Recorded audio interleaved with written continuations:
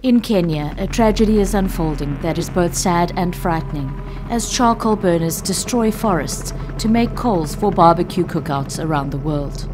It's hard to believe, but those glowing coals that fuel our cookouts have terrible implications for animals. Burning and bad farming practices in the Kerio Valley are leading to the desertification of the entire region. Pictures from there show quite a dire situation there with tree cutting and charcoal burning continuing in the area despite the devastating effects. Forests provide food and habitats for countless animals, and they are being destroyed at a dizzying rate. Forests once covered 30% of Kenya. The figure is now just 8.3% and dropping fast. There are millions of trees being lost every week to numerous reasons firewood, charcoal, building posts, land clearing. Farmers illegally chop down forest trees and burn them for charcoal, leaving behind a destroyed habitat, resulting in hunger and death for every kind of animal, from small buck to elephants.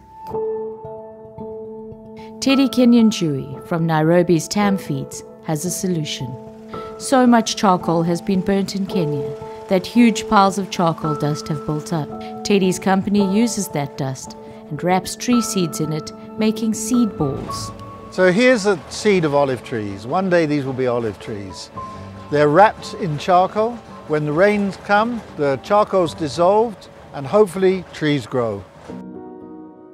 The seeds are spread in a number of innovative ways, including from the sky. This is Marc Goss. He heads the wonderful Mara Elephant Project and he doubles as a pilot distributing seeds. Marc takes the seed balls by helicopter to deforested areas and drops thousands of seed balls from the air, mimicking the way the trees naturally spread in Kenya. It's kind of odd to think that from this package, in a few years' time, thousands of trees will be born and thousands upon thousands of animals will have new places to live in the wild.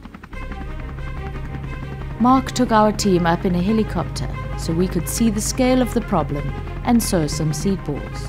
Within the first few minutes of the flight, we lost count of how many rectangular charcoal burning areas there were, hundreds upon hundreds of them everywhere you looked.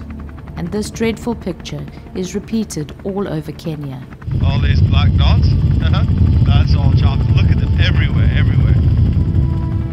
This is a huge area, home to animals great and small, and it was being destroyed in front of us. We seem to have found an elephant herd and a huge amount of charcoal burning right next to them. We saw a herd of confused elephants right next to several charcoal burns. We have promised to help. $50 or 41 pounds buys 10,000 seed balls. We spread thousands at a time.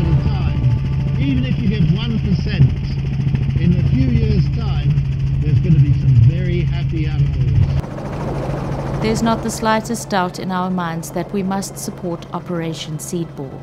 I'm standing in the remnants of a forest that's been destroyed by illegal charcoal burners. Perhaps behind me you can see the smoke where they're still working. We can't go near there because they will attack us, perhaps even kill us.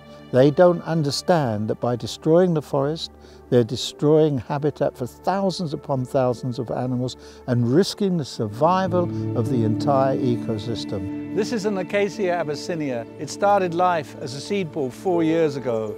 And these trees are elephants' delight. They love them. Now it's home to a chameleon and goodness knows how many other little creatures. That's an example of why we have to support the Seedball project. Reseeding forest areas is something we can do today. So what we're doing is not only helping forestry growth, it's helping animals like elephants get an important source of food. Please, if you possibly can, donate generously to Animal Survival International today because we need your help if we're going to save Kenya's animals.